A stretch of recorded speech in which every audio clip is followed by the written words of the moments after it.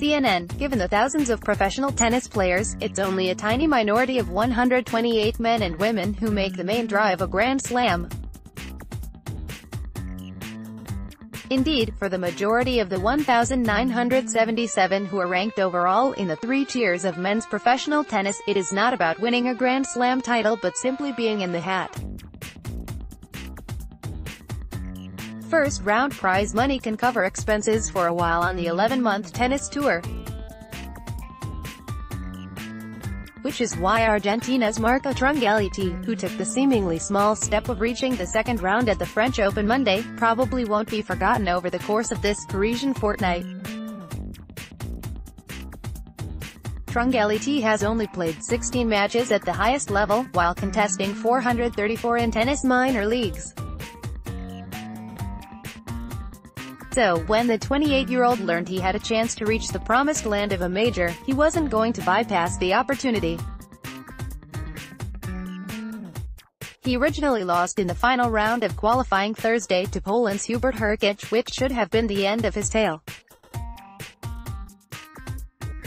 But as more and more spots opened up in the draw for lucky losers, an eighth berth materialized courtesy of Nick Kyrgios's departure Sunday, Trungelliti suddenly had a way in.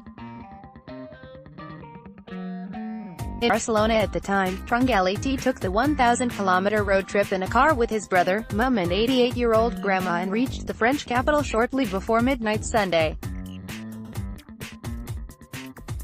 With intermittent coffee breaks, the journey lasted 10 hours. Grandma in shower. Actually, my grandma was in the shower and I told her, okay, we go to Paris, Trungelliti said. There are many flights cancelled, so I didn't trust too much. And then there is no train now, to France so the best option was always, was just take the car. The world no. 190 didn't have much time to ready for his opener, his match was scheduled for the earliest slot of 11 a.m. but still beat someone else who was in the qualifying draw, Bernard Tomic 6, 4, 5, 7, 6, 4, 6, 4.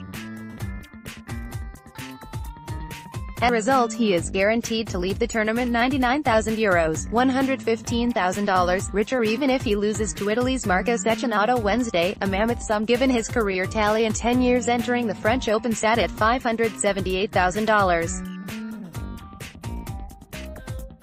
Normally such a player would only be interviewed by journalists from his country, if that, but such was the interest in his fable that he was brought to the main interview room at Roland Garros. Not on social media, he said it was his wife that got the word out about his unlikely path to the French Open's main draw. I never had a press conference with so many people.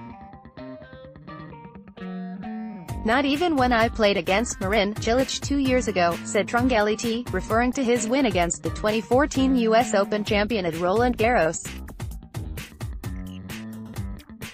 Tomic is regarded as one of the bad boys in tennis. His fellow Australian, Kyrgios, is trying to shed that reputation, telling reporters he was going to count his millions when he fell in January's Australian Open qualifying. While he may trump Trungelliti's bank balance, he is seemingly trying to resurrect a career that saw him reach the Wimbledon quarterfinals and reach 17th in the world two years ago.